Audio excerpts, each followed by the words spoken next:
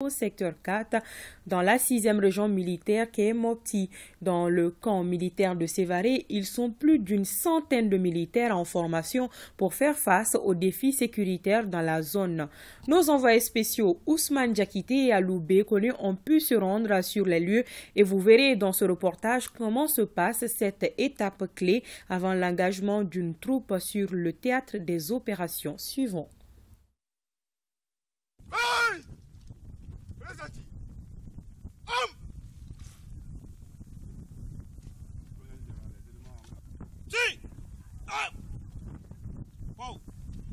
Ici, une centaine d'éléments de forces armées maliennes se préparent activement avant le déploiement sur le terrain.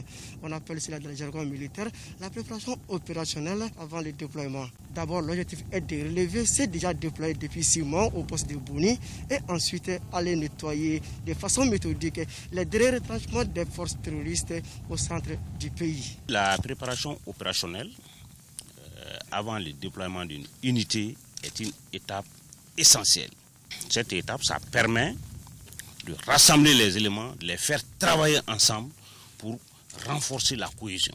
Ça permet aussi de rappeler aux soldats et de développer des capacités individuelles.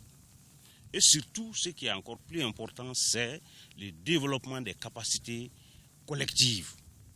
Donc, pendant euh, trois semaines à quatre semaines, ils se font rappeler des connaissances élémentaires en matière de combat.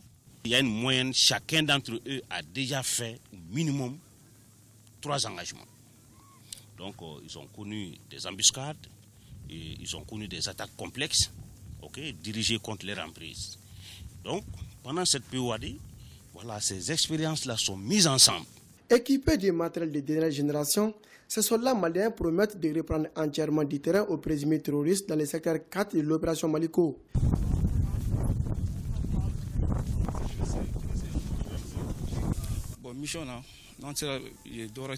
Ma mission dans ces déploiements est d'assurer la police judiciaire.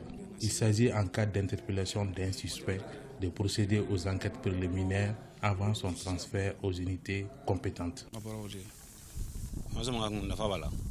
Nous apprenons la tactique pour aller neutraliser l'ennemi sur le terrain. Nous sommes fin prêts pour cela.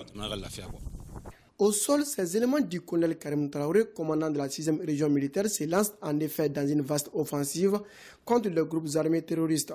À l'issue de cette euh, préparation opérationnelle, il y a une mission de contrôle de l'armée de terre qui vient pour voir si euh, les normes sont respectées, si l'effectif est respecté, si le niveau de commandement y est.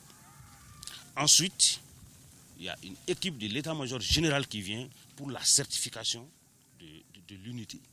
Sans cette certification, l'unité n'est pas engagée.